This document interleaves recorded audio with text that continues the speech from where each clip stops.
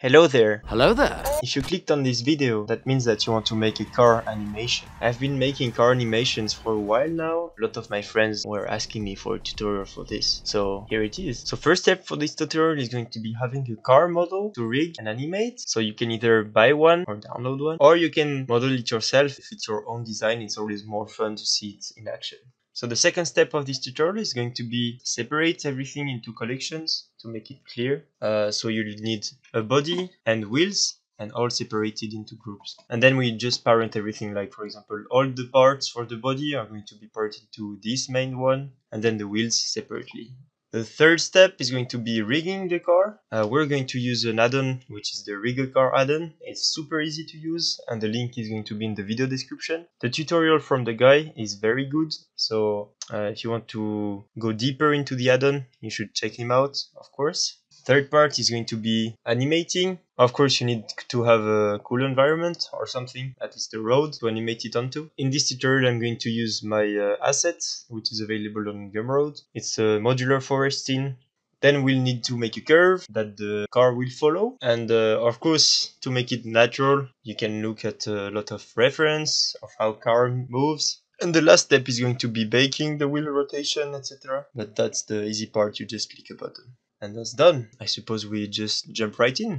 So here I have the car, a lot of moving parts. So for the parts that move with the body, we'll all parent to this one. If you have a car that already has everything parented to body and the wheels independent, uh, you can skip this part Okay, so what I did here was I separated everything into groups and for the wheels I separated every part and then I'm going to parent all the wheels component to only one, for example this one. Very important part is to have the origin of the object centered. Uh, set origin to geometry, every origin is at the center. Also in this part we're going to try to optimize the model, we're going to decimate quite a lot. As you can see here we have 3 million polygons because this is exported from Alias. So we're going to try to optimize this with the decimates because we're making an animation. We don't need that much definition because we are going to have motion blur. So, so let's try halving this. No apparent changes. That's nice. I'm only doing this because I have uh, very dense models. But if you have a subd model that you can just reduce the subdivision amount, uh, you should do this instead. Nice, so we went from 3 plus millions to a little bit more than 1 million triangles, so I think we are good. Now we are going to parent everything to be able to rig it, so I'm just going to select everything. My main part for the car body, so I chose this part, and then I'm going to hit Ctrl P, uh, Object, Keep Transform, and normally it should be right, yes. Nice, everything moves with it now. I'm going to select everything and select my controller last, so it's active. Control P. Yes, now we can check. Nice, everything is nice together and nothing's left. Okay, I do the same process now for everything. Nice, so now everything is parented together we're going to be ready to rig very soon. Uh, we just need to name some parts. So on this tutorial I'm going to use the rig car add-on. So I will put a link in the video description. So every time I use the add-on I end up on the website because there is a naming convention you have to follow. Uh, you have to name the parts accordingly. So for example body, uh, wheel, blah blah blah. So this you have to follow the same convention. Body and you have to have a capital first letter. BK for back and L for left. So I'm going to do the same here. Back, left left. Yes, so I'm going to do the same for every board. That seems correct. So now I have the body and the wheels, almost ready to rig it completely. But first I think we have to level the car with the floor.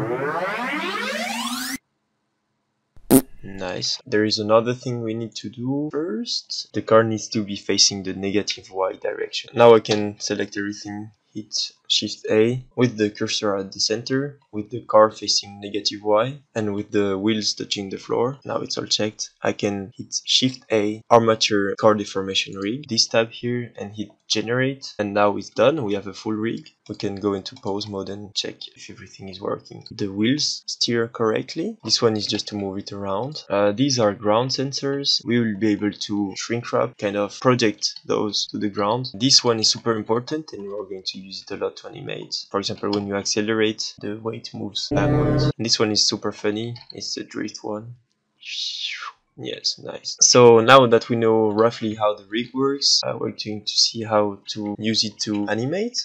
So for the scene, I'm going to use the modular forest scene I did. It's available on Gumroad, link in the video description if you want to check it out. I'm not going to move it around yet, because um, we are going to use a curve to animate the car.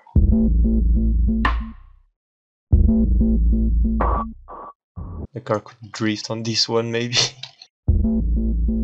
Nice. Road is how I want it. Now I have the car here, remember? Uh, and we're going to use a curve to animate the car. That's convenient. Here I have a curve already. But as you know, a car rolls on the right or left. So I'm going to duplicate this curve and make it driving pattern on the on that road. So I duplicate it.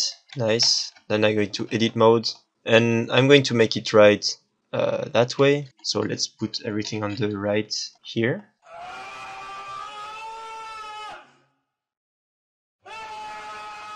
What we can do now is go into the pose mode, select this controller and go into the bone constraint, uh, follow curve, uh, follow path, sorry, and here drive. And we can use the fixed position so that this goes from uh, 0 to 1. And also we want it to follow the curve and here is turning the wrong way, so minus x. Here we go. It's just flying right now. Go to the Rig a Car here in the end panel. Go down to the ground sensors and now we can just eye drop this and always put the project one on.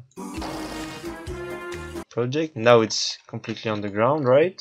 Yes. Now what we can do is animate this. So I want this to be from here to all the way there.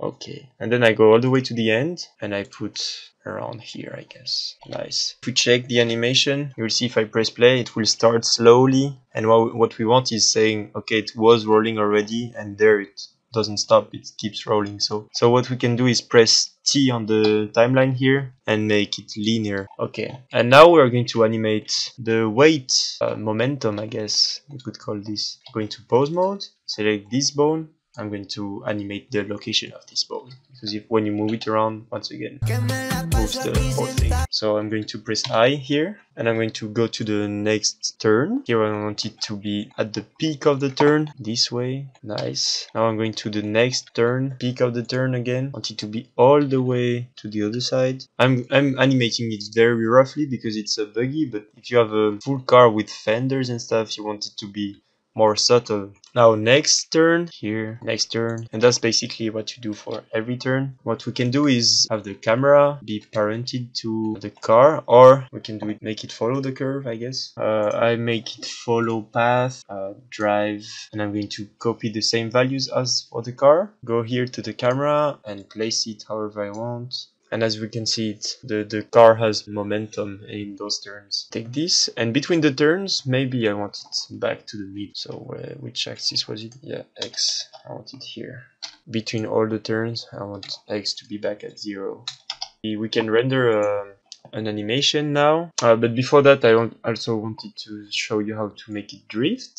So on that last very big turn I want to drift. And the drift part is animated with this controller right here. I want to animate the angle rotation. First peak of the turn there. And turn this slightly. And we want it to stop at the end of the turn here now what else can we do now? Maybe we can apply all the rotation from rig a car. You can just bake the car steering and here is like tolerance and stuff. Uh, I just don't change anything and click OK.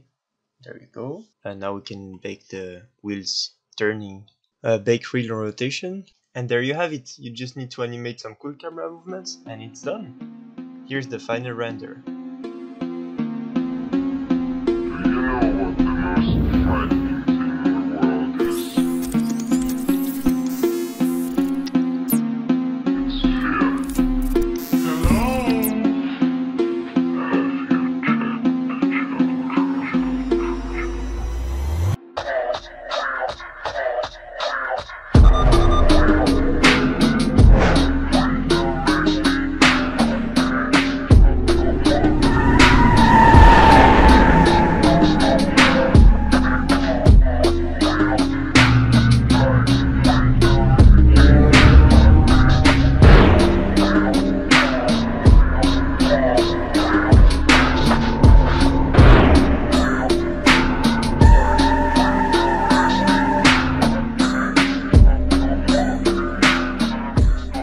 Thanks for watching guys. I hope you liked the tutorial. Uh, once again, the environment we used in this video is available on Gumroad and I have the link in the video description if you want. The link to the add-on is also in the description. I hope you learned something today. Yeah, thank you very much for watching. By the way, the last video did, uh, wow, like 100k views. I didn't expect that at all, so thank you very much for that. Uh, and I guess I'm a YouTuber now since I have more than 1.5k uh, subscribers. So I guess I have to do the thing now. If you enjoyed this video, please leave a like and subscribe and uh, comment what you want in the next video. Feels weird to do that, but yes, I'm a YouTuber now, I guess. Thank you for watching.